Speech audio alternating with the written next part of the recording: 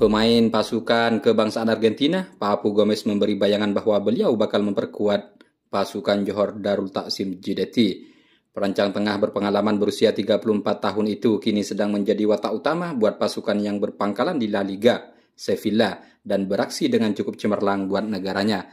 Walau bagaimanapun pemilik klub JDT Duli yang amat mulia Tunku Ismail Sultan Ibrahim TNG pernah memberi bayangan ada usaha untuk membawa masuk pemain ini ke JDT. Menerusi satu kenyataan yang dimuat naik di laman Twitter, Baginda memberi respon terhadap satu ucapan yang memperingati jasa bekas pemain impor JDT, Juan Martin Lusiru, yang sedang bergambar bersama jersey pasukan Harimau Selatan.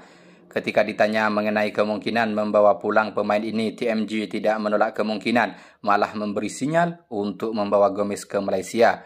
Kamu tidak akan pernah tahu mungkin Papu Gomez dari Sevilla. Baginda juga sudah mempunyai perancangan untuk membawa masuk nama-nama seperti ini bagi memantapkan lagi pasukan.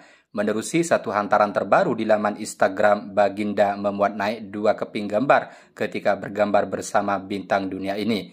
TMG dilihat bertukar jersey bersama beliau dengan menerima satu jersey pasukan kebangsaan Argentina disusuli oleh satu jersey Polo Johor kepada Gomez. Hal ini sekaligus menguatkan lagi spekulasi untuk membawa rakan senegara Lionel Messi ini disebabkan JDT juga sudah dikenali gemar menggunakan impor dari Amerika Latin.